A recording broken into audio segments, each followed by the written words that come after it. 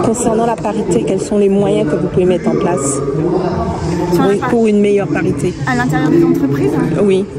Euh, eh bien, euh, on peut euh, travailler sur les temps de travail, sur le fait de ne pas mettre de réunion, par exemple, tard le soir, sur faciliter l'accès au, enfin, le partage du temps domestique entre les hommes et les femmes.